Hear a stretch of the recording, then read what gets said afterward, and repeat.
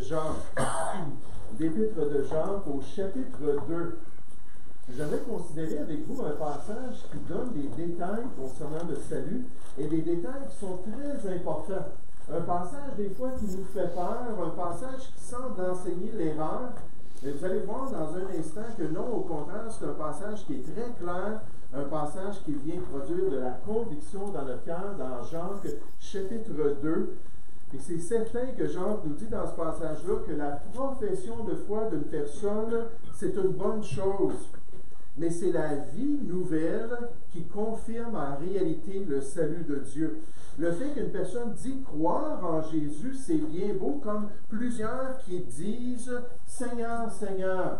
Et comme c'est facile de dire Seigneur, Seigneur, Jésus mon sauveur, mais qui n'entreront pas, Jésus nous a dit, dans le royaume de Dieu. Et en fait, c'est d'être une nouvelle créature en Jésus-Christ avec une marche nouvelle qui est un fruit digne du salut et un fruit que les gens ont besoin de voir dans la vie des soi-disant chrétiens.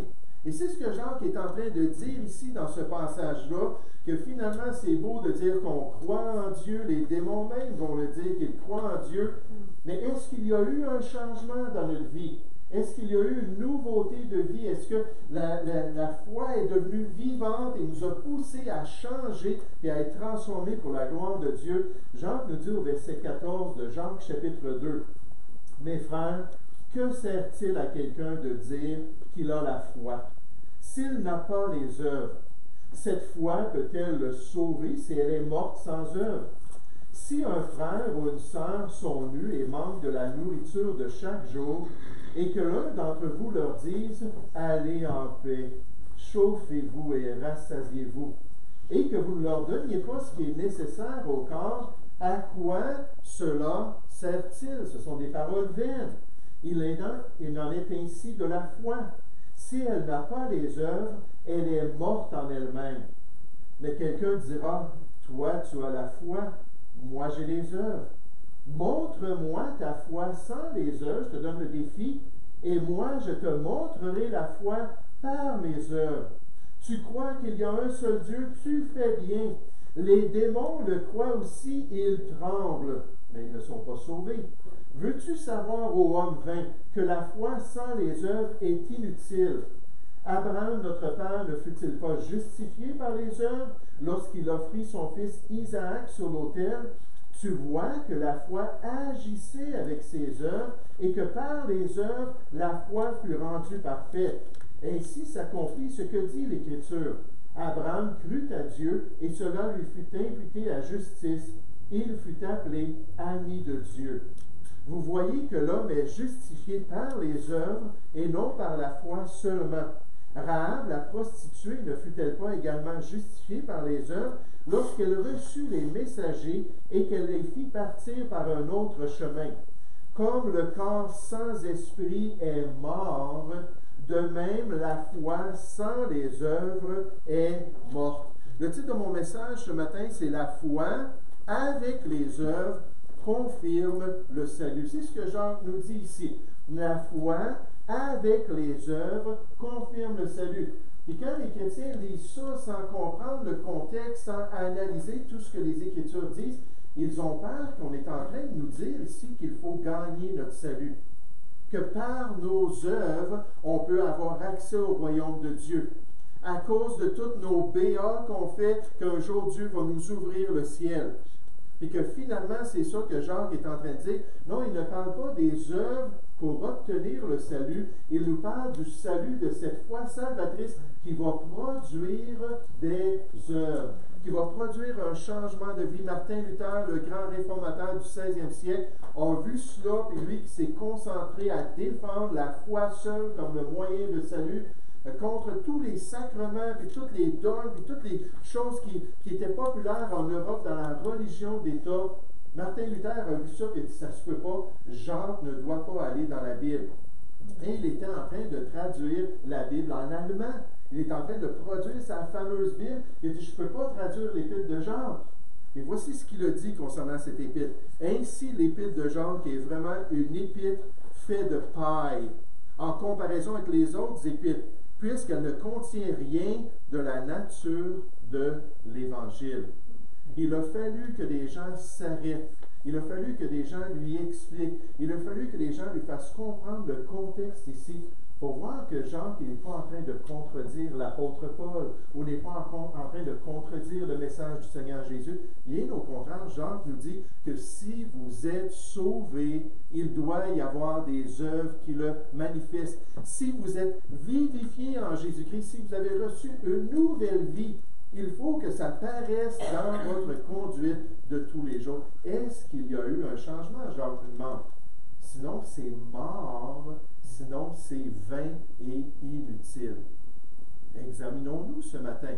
Est-ce qu'on a expérimenté la nouvelle vie qui se trouve en Jésus-Christ? Nous allons prier ensemble. Ô Père Céleste, on veut te remercier pour ce beau passage, Seigneur. On veut te remercier pour Jean qui, qui était un apôtre très direct. Le Saint-Esprit, lorsqu'il a poussé à mettre par écrit cette épître, a utilisé sa personnalité, a utilisé le fait qu'il n'aimait pas tourner autour du pot. Seigneur, qu'il aimait dire les choses comme elles étaient. Et quand il s'est arrêté sur le contexte du favoritisme dans les versets précédents de l'Épître, et qu'il a regardé comment les chrétiens ne marchaient pas selon la loi de l'amour et ne considéraient pas leur prochain, il leur a posé la question, à quoi bon de vous appeler chrétien? À quoi bon de dire que vous avez la foi si votre vie n'est pas changée? Si vous n'avez pas d'amour pour les frères? Et Seigneur, c'est ce que la Bible nous dit, que nous savons que nous sommes passés de la mort à la vie parce que nous aimons les frères. Et malgré nos faiblesses, Seigneur, on devrait avoir un désir d'aimer les frères. On devrait avoir un désir de traiter tous de la même manière, Seigneur, et d'avoir du respect. Mais Jean ici nous amène à un point tournant, nous amène à une intersection dans notre conscience. Est-ce qu'on a expérimenté une nouvelle vie? Ô Père Céleste, utilise ta parole vivante et efficace dans nos cœurs. Aide-nous à nous regarder sincèrement. Y a-t-il eu une différence quand nous avons mis notre foi en Jésus-Christ? Et Père Céleste, si ce n'est pas le cas, aide-nous à nous tourner vers Christ. Aide-nous à reconnaître notre état. Aide-nous à le recevoir comme notre Sauveur. Bénis ton peuple, Seigneur. Bénis tes enfants. Édifie-nous. Utilise ces passages-là selon nos besoins. Nous te prions au nom du Seigneur Jésus. Amen. Et la foi et les œuvres confirment le salut. J'aimerais vraiment qu'on puisse regarder ce que Jean nous dit ici, qu'on puisse considérer son message. Puis il débute en nous faisant un scénario. Ce scénario-là débute au verset 1. Lorsqu'il donne des instructions concernant le favoritisme, il va parler des gens qui sont pauvres dans les églises chrétiennes et il va parler des gens qui sont un peu plus riches. Il va parler des gens qui vont arriver en vêtements d'haillons à cause de l'usure. Il va parler des personnes qui vont arriver avec des vêtements là, tout beaux, puis c'est évident qu'ils sont, ils sont euh, dans une classe à part. Puis là, il va dire comment est-ce que vous traitez les gens? Puis là, à partir de là, il va se tourner vers la réalité d'une nouvelle vie. Si vous êtes une nouvelle créature, si vous avez l'Esprit de Dieu dans votre cœur, euh, si vous êtes passé de la mort à la vie, alors tout le potentiel est là pour agir correctement. Tout le potentiel est là pour faire ce qui est bien aux yeux de Dieu. Il nous donne une mise en scène basée sur l'enseignement précédent pour qu'on voit que la pratique de l'amour, la pratique de la parole de Dieu, avoir une nouvelle vie, c'est ça qui démontre que notre foi est valide et authentique. Regardez avec moi ce qu'il dit au verset 14. Il dit, mes frères, que sert-il à quelqu'un de dire qu'il a la foi s'il n'a pas les œuvres qui accompagnent cette foi? Cette foi peut-elle le sauver? Si un frère ou une sœur sont nus et manquent de la nourriture de chaque jour, donc il revient à ce qu'il vient de parler un peu avant en parlant des pauvres, et que l'un d'entre vous leur dise, allez en paix, chauffez-vous et rassasiez-vous sans rien faire, et que vous ne leur donniez pas ce qui est nécessaire au corps, à quoi cela sert-il? Il en est ainsi de la foi, si elle n'a pas les œuvres qui accompagnent notre foi, elle est morte en elle-même. Lorsqu'on a mis notre foi en Jésus-Christ et lorsque notre foi est authentique, ça produit une nouvelle vie. Ça produit une nouvelle conduite. Ça nous donne une direction maintenant sur une voie étroite qui nous mène au royaume de Dieu. Cette transformation-là paraît partout à travers la nouvelle alliance. Jésus dit en vérité, en vérité, je vous le dis, celui qui écoute ma parole, l'évangile que je vous prêche, et qui croit à celui qui m'a envoyé, le Dieu sauveur, a la vie éternelle et ne vient point en jugement, mais il est passé de la mort à la vie. La Bible dit qu'on était mort dans nos péchés, nos offenses, avant de connaître le Seigneur Jésus. Et là, tout à coup, on devient vivant. C'est une transformation, c'est un changement extraordinaire, c'est une résurrection pour celui qui est sauvé, pour nous permettre de vivre avec le Seigneur. Combien de fois dans le passé j'ai dit il y a des zombies dans nos églises? Il y a des gens qui se promènent se disant croyants, puis qui essaient de nous faire croire qu'ils sont vivants et ce sont des morts. Ils n'ont pas cette nouvelle vie-là. Ils n'ont pas expérimenté la grâce de Dieu. Et ce que le Seigneur leur dit, c'est tourne-toi vers moi, regarde-moi, mets ta confiance dans l'œuvre que j'ai accomplie. Les Écritures nous disent si quelqu'un est en Christ, il est une nouvelle créature. Les choses anciennes sont passées. Voici toutes choses sont devenues nouvelles. Moi, j'étais totalement anti-Église, anti-Bible, anti-chrétien. Quand j'ai prié avec ce pasteur-là qui me guidait vers le trône de la grâce de Dieu, j'ai invoqué le nom du Seigneur, j'ai levé ma tête, j'ai dit quand est-ce vos réunions? Quand est-ce que je peux aller rencontrer des chrétiens pour entendre la parole de Dieu? là, après ça, je suis sorti de son bureau, et je marchais pour m'en aller chez moi. J'ai dit, qu'est-ce que j'ai dit là? Je ne me reconnaissais pas. Moi, je suis allé une fois à l'église pour plaire à un couple de chrétiens qui avaient essayé de m'influencer. J'ai dit, OK, bon, je suis allé dans l'occultisme, je suis allé dans le nouvel âge, je suis allé dans toutes sortes de choses. Bon, je vais y aller à ton église une fois. J'avais détesté ça. Une semaine, même pas après, le jeudi après, je demande, quand est-ce vos réunions d'église? Là, ça a été le début d'une confirmation par l'Esprit de Dieu que j'étais devenu un enfant de Dieu, que j'étais devenu une nouvelle créature dans le Seigneur. C'est pour tous ceux qui ont vraiment cru. La Bible nous dit, autrefois, vous étiez ténèbres. Dans ce monde, vous marchiez dans les ténèbres. Et maintenant, vous êtes lumière dans le Seigneur. Marchez comme des enfants de lumière. Car le fruit de la lumière, le résultat d'une vraie vie en Jésus-Christ, consiste en toutes sortes de bonté, de justice et de vérité. Lorsque Dieu a vraiment transformé notre vie, le pasteur Wisby nous dit, méfiez-vous d'une simple foi intellectuelle. Aucun homme ne peut venir à Christ par la foi et rester le même. Hein, il n'y a rien qui change dans sa conduite.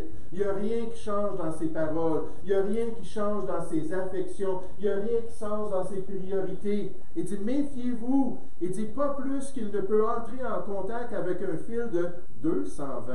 Wow, j'ai jamais expérimenté ça. Oui, du 120, mais du 220, il paraît que ça, ça donne tout un coup. Et rester le même. C'est impossible. Une foi morte n'est pas une foi qui sauve. La foi morte est une foi contrefaite et amène la personne dans une fausse confiance en la vie éternelle. Jacques nous dit ici qu'il y a un scénario de nouvelle vie, que lorsqu'on rentre dans l'Église de Jésus-Christ, on devrait être différent dans nos pratiques. On devrait être différent dans la manière qu'on voit les autres. Dans notre assemblée à Boucherville, c'était tellement multiculturel. Il y avait des gens qui venaient de l'Asie, il y avait des gens qui venaient des Antilles, il y avait des gens qui venaient de l'Europe, il y avait des gens qui venaient de l'Afrique. Là, c'était le temps de laisser tomber nos distinctions. C'était le temps de mettre de côté notre racisme et toutes les idées qu'on a concernant les gens et de pouvoir tous se recevoir en Jésus-Christ et s'aimer mutuellement. Et Jacques nous dit, c'est la manifestation de vraie vie. Sinon, ta foi est inutile, ta foi est morte et tu n'as pas expérimenté cette nouvelle vie-là. Mais au-delà de cela, ici, Jacques nous dit que non seulement il faut s'examiner, est-ce qu'il y a eu un changement, est-ce qu'il y a eu une différence, mais deuxièmement, il dit, pensez à votre témoignage. Pensez aux gens à qui vous parlez. Pensez aux gens à qui vous avez dit que vous avez un jour rencontré Jésus-Christ. Ces gens-là vont vous regarder attentivement. Ils vont vous passer à la loupe. Ils vont vous dire est-ce qu'il est pareil? Est-ce qu'il a changé? Récemment, j'étais avec un chrétien puis une dame qui était là. Elle a dit oh, Moi, je le connais, cet homme-là, depuis des années. Et quand il a connu Jésus-Christ, il a totalement changé. Il a totalement été transformé.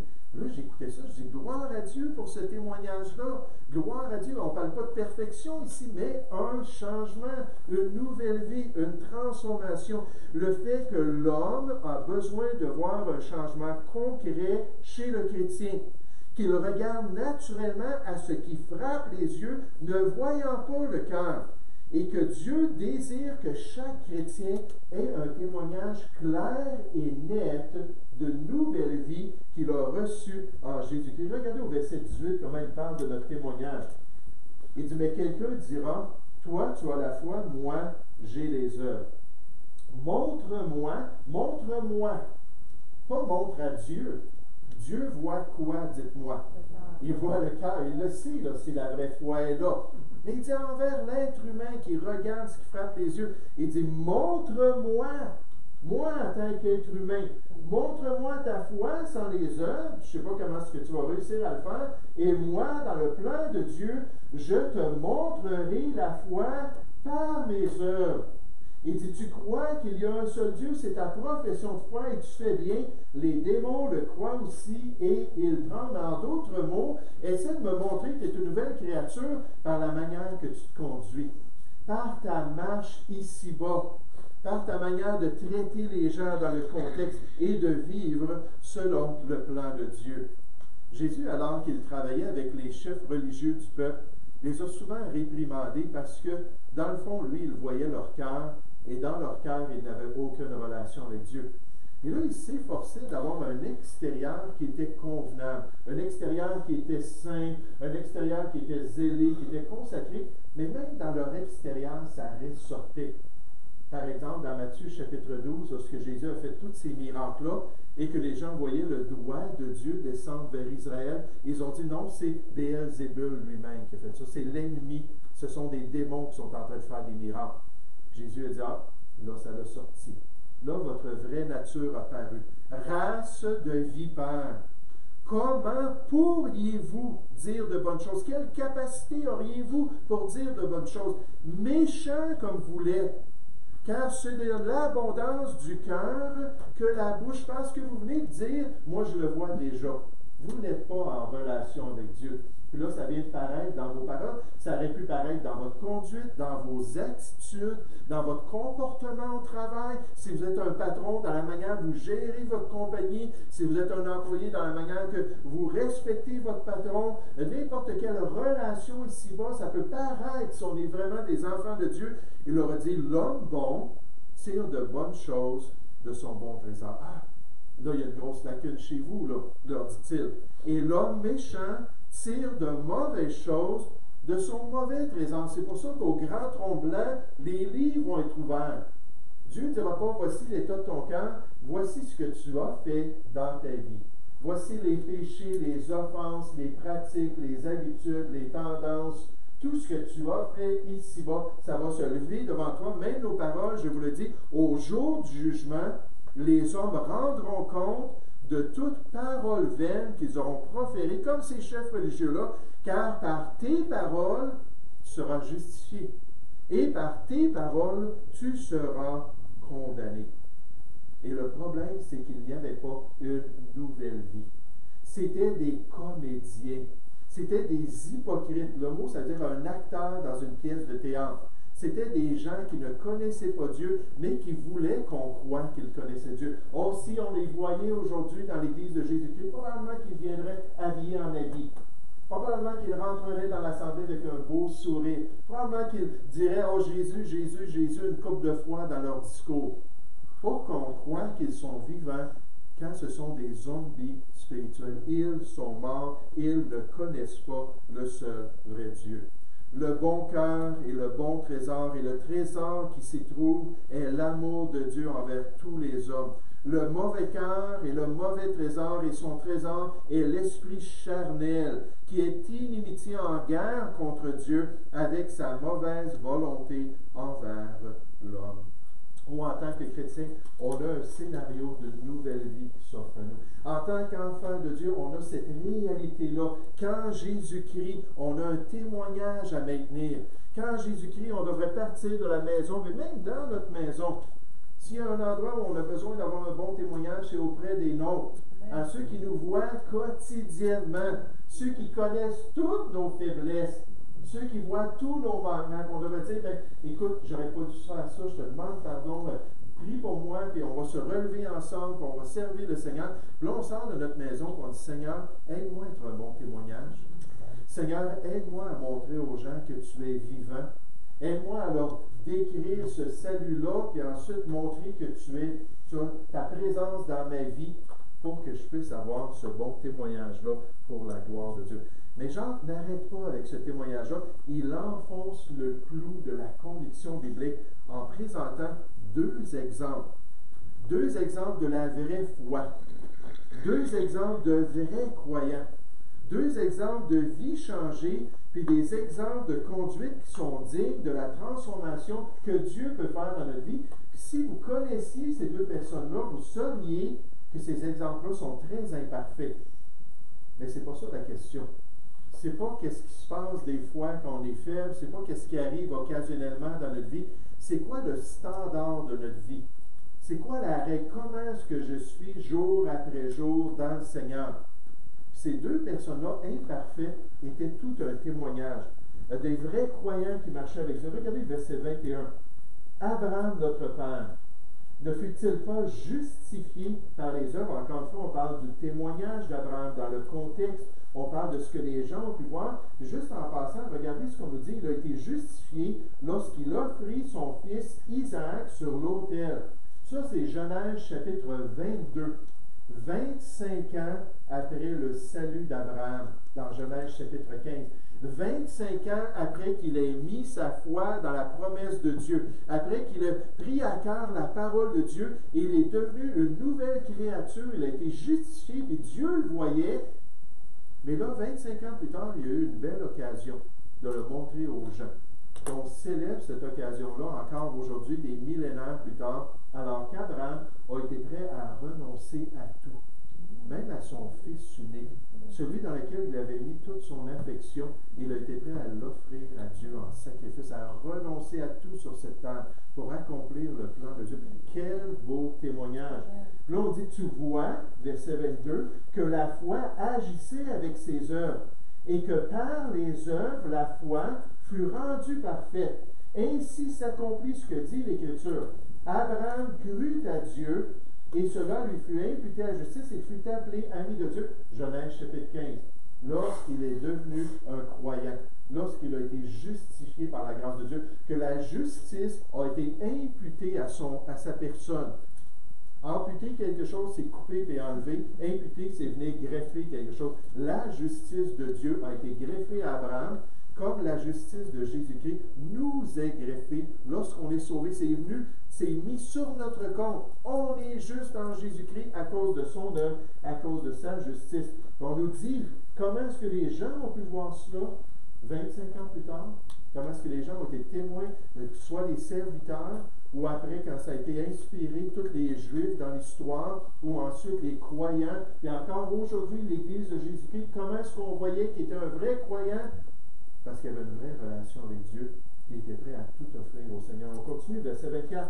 Vous voyez que l'homme est justifié par les œuvres et non par la foi seulement, encore une fois, dans ce témoignage-là, dans cette réalité de nouvelle vie qui est accompagnée par les œuvres. Rave la prostituée, ne fut-elle pas également justifiée par les œuvres? Lorsqu'elle reçut les messagers et qu'elle les fit partir par un autre chemin. Cette femme-là, qui habitait dans une ville païenne, a reçu des espions, les a cachés dans sa maison, a permis qu'ils se sauvent ensuite. Puis elle a dit, pensez à moi quand ils sont venus pour abattre les murs de Jéricho. C'est Dieu qui les a abattus, qui ont eu la victoire. Cette famille-là a été délivrée du jugement à cause de la foi de cette femme-là. En fait, ensuite, elle s'est mariée. Elle s'est mariée avec un juif. Et aujourd'hui, elle fait partie de la lignée du Messie. Pourquoi? Parce qu'elle avait la foi. Comment est-ce que ça s'est manifesté? Elle a vu le peuple de Dieu. Elle a dit, moi, je fais partie de votre peuple. Venez, je vous cache, c'est vous qui allez avoir la victoire. Le peuple est en train de trembler. Moi, je mets ma confiance en Dieu. Puis en passant, pensez à moi quand vous allez conquérir la ville pour me permettre d'être libéré de toutes choses. Mais ici, on voit dans ce passage-là une vraie croyante. On voit dans ce passage-là un vrai croyant. Oh, les Écritures nous confirment car c'est par la grâce que vous êtes sauvés. La grâce est un don immérité par le moyen de la foi. La foi, c'est la main du cœur qui saisit la promesse du salut et qui se l'approprie. C'est comme ça qu'on reçoit Jésus-Christ dans notre vie, qu'on reçoit l'Évangile dans notre vie. Et cela ne vient pas de vous, c'est le don de Dieu. Ce n'est point par les œuvres, afin que personne ne se glorifie. On ne peut pas gagner notre ciel. Mais la Bible s'empresse de dire qu'une fois qu'on a étendu notre main, une fois qu'on a reçu le salut en Jésus-Christ, que nous sommes son ouvrage, ayant été créés en Jésus-Christ en tant que chrétiens pour de bonnes œuvres, que Dieu a préparé d'avance afin que nous les pratiquions. Et c'est pour ça que Paul a instruit le jeune pasteur Tite en lui disant, il s'est donné lui-même pour nous, Jésus, afin de nous racheter de toute iniquité et de se faire un peuple qui lui appartienne, purifié par lui, mais remarquez bien, et zélé pour les bonnes œuvres. Ça doit faire partie de l'enseignement de l'Église. Il dit à ce jeune pasteur-là, dis ces choses, tourne-toi vers l'Église, puis affirme que c'est pas juste d'avoir la foi, que c'est pas juste dire oui, j'ai cru en Jésus, j'ai fait une petite prière. C'est de regarder, est-ce qu'il y a eu un changement? Est-ce que votre conduite a été transformée? Êtes-vous maintenant vivant dans les voies du Seigneur? Il y a quelque chose à l'intérieur qui veut sortir. Il y a quelque chose qui veut se manifester. Il y a une vraie piété, puis une vraie obéissance. Il dit, dis ces choses, exhorte, encourage, reprend ceux qui ne croient pas cela avec une pleine autorité, puis lui dit un petit peu plus loin, cette parole est certaine. Et je veux que tu affirmes ces choses dans l'Église de Jésus-Christ, afin que ceux qui ont cru en Dieu s'appliquent à pratiquer de bonnes œuvres. Qu'on soit zélé pour Dieu, qu'on soit fervent dans les voies de Dieu, qu'on soit des pratiquants. Oh, que personne nous entende dire Oui, je suis un croyant, mais je ne suis pas pratiquant. Ça n'existe pas dans la parole de Dieu. Si vous êtes vraiment sauvé, vous êtes un pratiquant. Vous allez faire des choses pour le Seigneur pour accomplir la volonté de Dieu. Encore, le pasteur Wesby, la vraie foi salvatrice mène à l'action. La foi dynamique n'est pas une contemplation intellectuelle des données du salut ou une consternation émotionnelle envers l'œuvre de Christ. Elle conduit à l'obéissance de la part de la volonté et le salut, c'est un commandement. Il faut obéir à l'Évangile, la Bible dit. Donc, ça commence par l'obéissance envers le salut que Dieu veut nous donner. Oui, Seigneur Jésus, viens, et rends-moi pur. Oui, Seigneur Jésus, viens, et donne-moi cette nouvelle vie-là. Et là, c'est juste le début. Après ça, c'est le baptême d'eau, un autre pas d'obéissance. Après ça, c'est le changement de conduite dans notre quotidien. Et dit, cette obéissance n'est pas un événement isolé. Elle se poursuit tout au long de la vie. La vraie foi mène aux œuvres. Il continue. Comment pouvez-vous savoir si une personne est sauvée par la foi quand cette transaction de salut a lieu entre le pécheur et Dieu en privé? Oui, c'est vrai que souvent on va faire une prière avec quelqu'un d'autre. Oui, c'est vrai que souvent un chrétien va nous accompagner pour recevoir Jésus. Mais il y a bien des gens qui ont été sauvés tout simplement dans leur cœur. Ils ont compris l'Évangile, ils ont fait un choix du cœur, ils ont invoqué le Seigneur dans leur, cœur en privé. comment est-ce qu'on peut le savoir? Mais c'est très simple. L'exemple d'Abraham répond à cette question importante. La personne justifiée a une vie changée et obéit à la volonté de Dieu. Sa foi est démontrée par ses œuvres. Et c'est quelque chose qui doit être une réalité. Cette semaine, je lisais des témoignages de personnes qui avaient accepté le Seigneur. Et moi, ça m'édifie. Je suis tellement encouragé par ça. C'est une joie pour moi de voir l'œuvre de Dieu, de voir comment Dieu a ouvert les yeux. Pendant longtemps, je parlais avec des personnes. Là, je ne mentionne pas des gens de l'Assemblée nécessairement, mais des gens qui se disaient croyants. Puis quand je dis quand est-ce que tu as accepté le Seigneur, j'ai toujours été fidèle à l'Église. OK, mais quand est-ce que tu as compris l'œuvre de Jésus-Christ? Ah, j'ai amené mes enfants à l'Église. Puis quand est-ce que. Toujours des, des choses qui n'avaient rien à faire. La personne ne pouvait pas dire oui, je suis sauvé. Oui, je sais dans ma conscience que ma vie a été changée. J'ai reçu le pardon. J'ai été libéré de ce fardeau-là de condamnation. La colère de Dieu n'est plus sur ma vie. Je suis une nouvelle créature en Jésus-Christ. Quand je vois ça, des gens qui disent ça clairement, qu'ils expliquent que Jésus a ouvert leurs yeux, que Jésus leur a permis de voir l'œuvre de la croix, qu'ils ont su que c'était pour eux, qu'ils ont mis leur foi en Jésus-Christ, ils n'ont plus jamais été le même. Moi, ça fait 32 ans, j'ai jamais été pareil comme avant de connaître le Seigneur. Pourquoi? À cause que Dieu s'est manifesté. Mais je lisais le témoignage d'une dame. Elle est arrivée à l'église, puis euh, elle avait fait profession de foi, elle s'est fait baptiser. Puis là, pendant un bon bout de temps, elle assistait à l'église. Puis à un moment donné, elle a appris que pour être impliquée dans certains des ministères, elle, elle voulait servir. C'était vraiment sa passion. Il fallait être membre de l'église. Membre pour montrer qu'elle s'en allait dans la même direction que cette église locale-là. Puis, as-tu pas de problème? Elle dit, moi, j'ai aucun problème avec ça. Je suis prête à être membre. Qu'est-ce que je dois faire? Là, le pasteur il a dit, ben, regarde, je vais demander à un des vieux diacres de te prendre à part, puis il va juste t'interviewer pour voir ton témoignage, puis comprendre un peu ce que tu as dans ton cœur. Ce diacre-là est venu la voir, puis il a posé une question. Il a dit, est-ce que Jésus a fait une différence dans ta vie? Sans hésitation, elle a répondu, oui. Toute une différence. Il dit, ah oui. Il dit, est-ce que tu commets encore des péchés aujourd'hui? Elle dit, oui, ça m'arrive. Donc là, il a dit, OK, avant d'être sauvé, tu commettais des péchés. Maintenant que tu es sauvé, tu commets des péchés. Qu'est-ce que Jésus a fait dans ta vie? C'est une question piège. Elle a dit, oh monsieur, il a fait toute une différence. Avant de connaître le salut, je courais de tout cœur après le péché. Oh, j'étais une personne qui vivait dans le mal. J'étais une personne qui était attachée à mes désirs. J'étais une personne qui vivait sur la chair. Et depuis que j'ai été sauvé, je fuis le péché. Puis je cherche à rester pur devant Dieu. Puis je m'efforce pour me conformer à sa volonté. Oui, ça arrive que je tombe, mais j'aimerais vous dire, c'est plus pareil. C'est plus pareil parce que Dieu me met un. C'est plus pareil parce que Dieu me donne une sensibilité. C'est plus pareil parce que j'ai une passion pour sa personne. J'ai une passion pour sa volonté. Quand il entend ça, les autres, c'est la bonne réponse. Effectivement, dans les Écritures, on voit qu'on va demeurer des pécheurs, qu'on va demeurer imparfaits. Mais là, dans le fond de notre cœur, on sait qu'il y a eu ce changement-là. On sait qu'on n'a plus la même direction. On sait qu'on va grandir de progrès en progrès malgré tous nos failles. On va toujours poursuivre la volonté de Dieu. Et si Jacques est en train de nous dire, c'est ça le scénario de la vraie vie d'une foi qui est vivante. Et c'est ça le témoignage que les gens ont besoin de voir autour de vous. Oui, à travers les mois et les années qu'ils vous côtoient, ils voient qu'il y a une constance.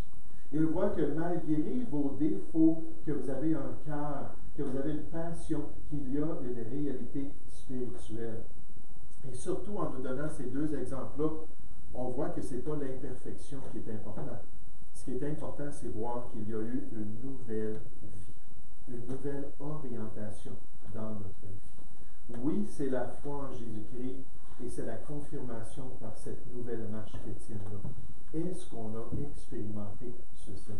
Et si on est des enfants de Dieu, si on a été transformé par la personne de Dieu, est-ce qu'on continue à être sensible?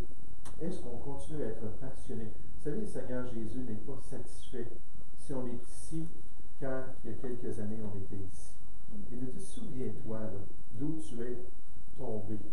Repends-toi et pratique tes premières œuvres. Si notre corps nous le permet, si nos capacités sont encore là, pourquoi pas continuer à chanter dans la chorale?